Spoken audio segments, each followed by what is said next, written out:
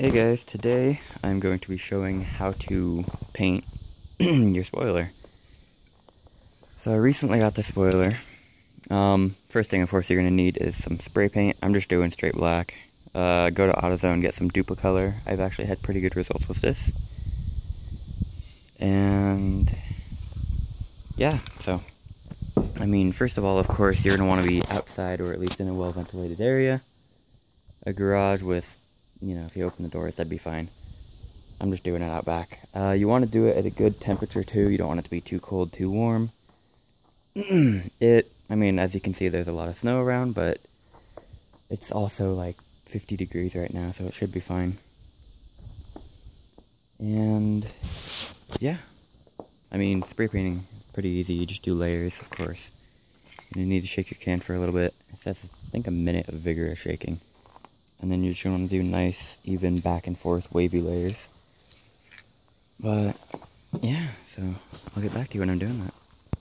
Alright, so with this kind of paint, they have that little nozzle. Uh, that just shows like the direction that you're going to be spraying. This is up and down, so it's going to be a wide, long spray. You can rotate it any direction, really. So,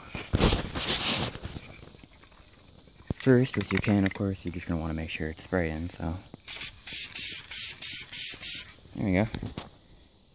And now, once you've got that, whoop, little black flag, actually start spraying on your spoiler. Uh, I'm just going to start across the top and go across. Alright, so here's my first coat. Uh, it's very light. It didn't get everywhere. Of course, that's going to be kind of hard to get into, and also have to do these sides and stuff. But yeah, I mean, the first coat is of course supposed to be a pretty light coat. I got a few little black splotches all across here, which kind of sucks, but it'll be covered up. And yeah, so I mean, of course, the technique is you're just going to want to be spraying side by side. I can probably show you over here what I'm doing. So here's this side. You're going to want to hold the can probably about 8 inches to a foot away. And then just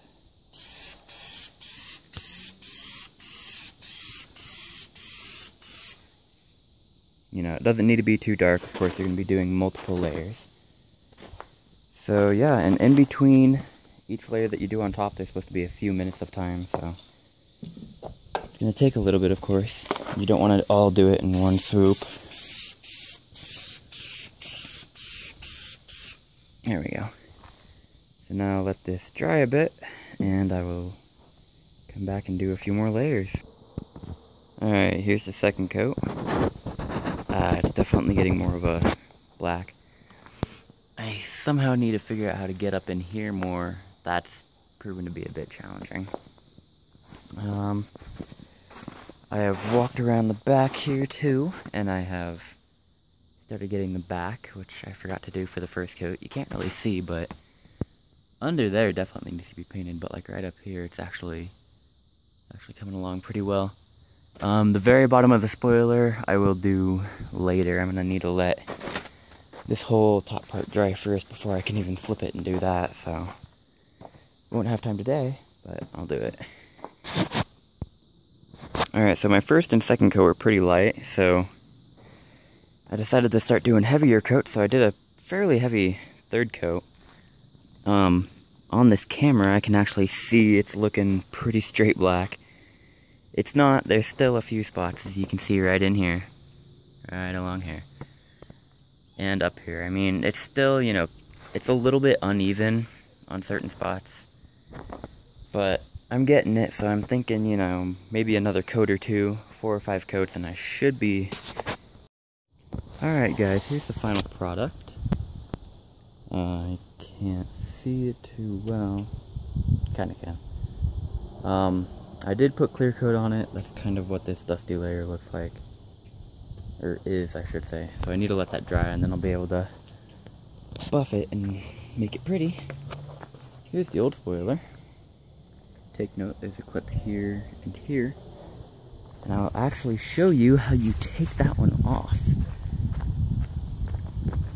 So, as you can see, my trunk is lit up.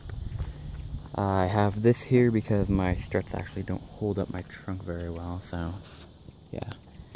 Either way, there's to be a bolt hole here and here on each side. Over here too. And that is where your spoiler sits. Um, mine, as you can see, had a lot of dirt and crap under it when I pulled it off. But, um, so yeah, you're gonna take these two bolts out. It'll still stay in place. You don't need to worry about it because there's gonna be the clips, which you can see there's a little hole here and there's one over there. And those clips are really easy. You just lift up on the spoiler and they'll pop right out. But yeah, so that's how you take it off. And you try to unbolt it. Keep the bolts. I did. You're gonna need a 10 millimeter socket to get those off. They're not very long. But yeah, so just keep them ready. Uh, the new black spoiler over here has, actually has, um, bolt holes in it too. If we can see, hey, you can see them. There's one right here, and one right here. Uh, at first, when I looked at them, I was kind of worried that they wouldn't, you know, work right. Because I thought it was just going into the body. Turns out they are encased in metal. I already checked. There's one, and then this one, I need to wait for it to dry so I can actually pop out. There's like a little plug or something on it. So I'll need to do that. Or drill it out. But yeah, so. Spoiler over here, you can see it's got metal that those bolts go right into so it's nice. And the one over here, it actually does have metal on the inside too, which is good. It's not focusing. There you go. But yeah, so I mean, that's how you'll replace your spoiler. The old one's really easy to take off. Car looks kind of goofy without it. And then once this one dries, it's got about an hour and a half to go. Then I'll place it on and I'll show you what it looks like. Alright, so by the way, if you can, there's this little rubber pad right here, both sides. Um, it's just like a little, you know, buffer pad between the spoiler and the actual trunk, so it's not sitting on there rubbing around and scratching off paint. So if you can peel this up really gently, which you can, it's still got the adhesive, it'll still be sticky. Uh, peel it up gently, actually stick it over the holes on the bottom of your new spoiler so that you don't end up doing damage to the actual back of your car. And by the way, in this entire process, don't forget to clean both the pads and the back of your now goofy looking car because I mean, look at this. An Eclipse should not look like this. There should be something big on the back. But yeah, don't forget to clean up the holes. There's a little mud on that one, so I can clean that up. And then over here too, this is actually not, um, I mean there is paint, it's not scratched off. I don't even know what this is, it's like an adhesive or something, but either way, it got stuck. So, new spoiler, or cover it up, it'll be fine. But, yeah, just little side note before you just throw away your old one or do whatever you want with it. And that is all.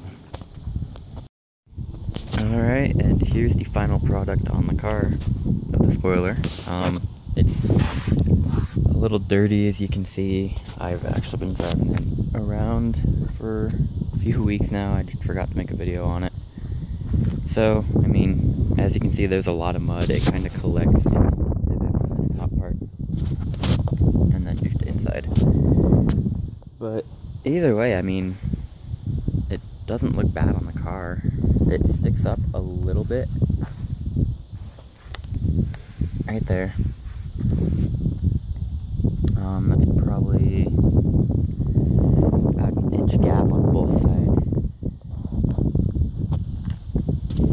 But, I mean, when you're driving, it's not too noticeable. But, yeah, I mean, either way, I think the car looks nice with it on, honestly. It looks pretty good hanging out back there. but yeah, that's the final product of the spoiler. Subscribe if you liked, and stay tuned for more videos.